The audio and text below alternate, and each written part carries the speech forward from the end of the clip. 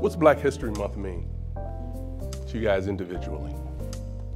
It to me it means that they're going to take a month to talk about us, and uh, that's a little offensive. Um, I'm a grandfather uh, and um, have two kids grown, and that was an everyday thing for me. You know, I'm not a, a, a one month uh, history lesson. It's an everyday thing. So uh, it's an improvement over, uh, we had a Black History Day at one time. Uh, now we have a Black History Month. So uh, maybe life might be a part of Black history. The fact that we have Black History Month, I think, is important from the standpoint it, it at least acknowledges the fact that there has been a struggle, there continues to be a struggle. Um, it gives us an opportunity to uh, highlight uh, where, you know, where we've come. The one thing that, because the history has been told from a perspective that's not necessarily accurate, the mainstream population actually really does not know who we are uh, as a people, what we do, how similar we are in some ways and how different we are in others.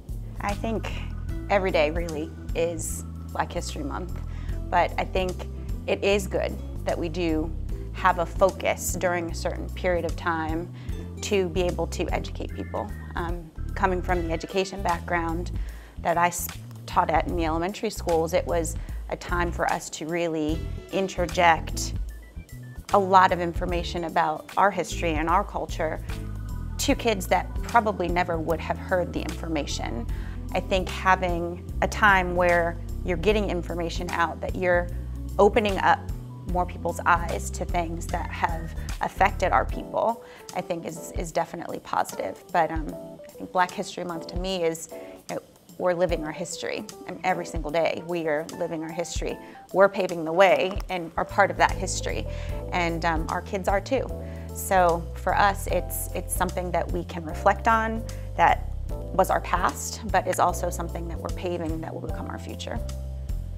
Like she said, the exposure is really important. I mean, I've lived abroad. I lived in China for a year, and where they don't celebrate Black History Month there. And so when I came back, I was I kind of more celebrated Black History Month more, knowing that other places they don't have that exposure, and so they're just free to think whatever they want to think or whatever is on the media.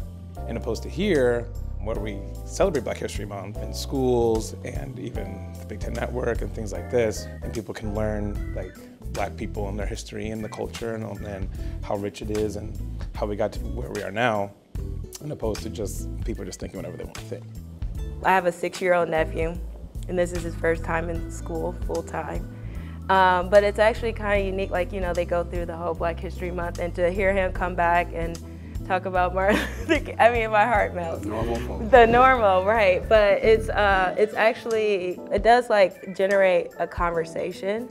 Um, but I think the unique thing to do is how do you drive it forward or how do you connect it to today um, is a great opportunity to take uh, advantage of. Kevin Warren, named first black commissioner of the Big Ten, first black commissioner of Power Five.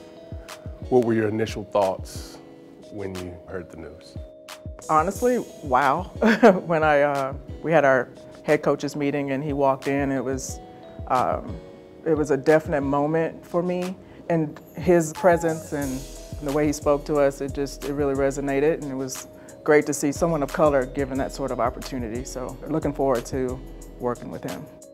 And I think I've been a little seasoned prior to it because I've had Kevin Anderson to Damon Evans now and having someone sit in that position, knowing that they're watched and have to do things the right way, that reinforced to me what I needed to do. And, and I know that uh, Kevin's coming into a big conference um, and so this is good because it gives us, and I think the conference, an opportunity to, um, to grow in many places besides just on the uh, playing field.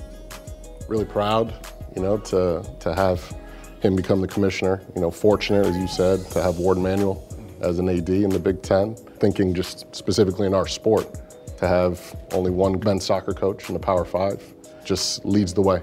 Leads the way for me and continues to motivate me from a personal level to continue to, to keep growing and keep challenging myself.